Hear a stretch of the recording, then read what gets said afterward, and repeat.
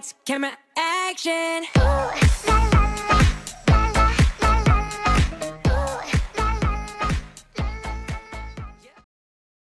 Hello everyone, it's RavenPL here, and you're watching 8th episode of Pirate's Voice series about you and your feedback. But today we will move a little bit out of the feedback thing in the series, because today we are going to talk about newest update, so Tau Ceti Part 2, that should come tomorrow, but it's coming next week. Yes, it's really soon now, so everyone should already go and prepare themselves for the update. So what's inside the tomorrow's update? What are the patch notes? Let me describe them right now. The mission board is a little bit changed and improved right now. It provides us filtering options so that we can choose between story, wide, completed and special event story missions. Performance and stability of the board is improved, so that even if there are lots of missions on the planet, they won't load as long as they are doing right now.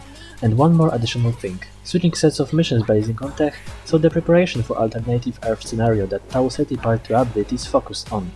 Generally, filtering option will be the start of repeatable missions that I was talking about in previous episode of Pirate Voice series that will need to use this feature in future.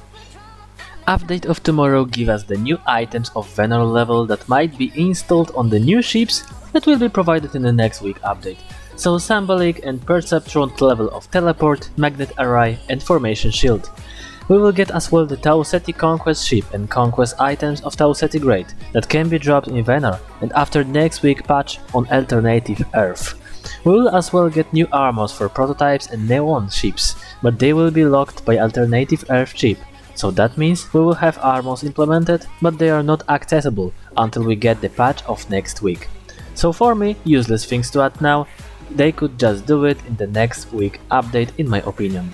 Last thing that they put inside the tomorrow's update are the achievements from Tau Ceti Part 2. One of the most interesting and important changes here is the adjustment of leveling Conquest Planet to make some minimal level at each of them. Mercury has been changed to Sol lower tech, so we need to fight there with lower Sol ships or prototypes with lower armor and Moon tech. Rest of planets are on Sol advanced tech level. In addition to it, Vault is implemented on all the Conquest planets, so that players will not lose Cryonite when potted in the battle there. Venor mission Wolf in Ship's Clothing is adjusted to spawn lower amount of enemies on the base and on Commander. Finally, maybe Gravitons will not be required anymore while doing it with Venor tech only. Maximum rank is increased to 91, more smooth moving on the planets, and distance of ships rendering will be increased, removed non-targetable units like orbital strikes on the radar, and lifting the duration level restriction so that we may be able again to do story and white missions on Terrasa with Antares' best and ancient equipment. Damage deflector's effectivity is raised because of damage booster calculation formula changes, so that probably the world system of damage boosters and deflectors is somehow changed. We will see tomorrow how it looks like.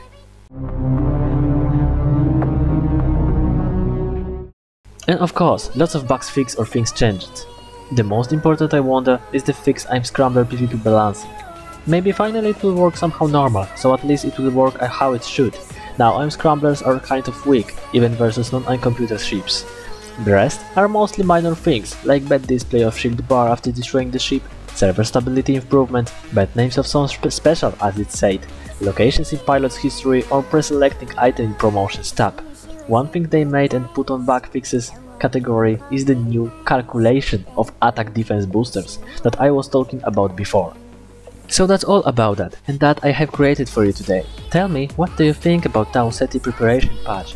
To be honest, I was supposing the TC part 2 to come already the next day, so 23rd of July, but we have to wait, unfortunately, again next week. But I hope fixes are that much important to make, that we have to wait again that long. Next week, Pirate's Voice episode about Tau Ceti Part 2, expectation of players before the patch, and few minor feedback from people on the forums. Additionally, I want to invite all of you to visit my channel in the update date, so 13th of July probably, for my pirate stream that I will hold to show you the new alternative Earth and the things we are doing in the patch day. And for now, see you later and don't forget to subscribe my channel and watch the Pirate's Voice series about you and your feedback.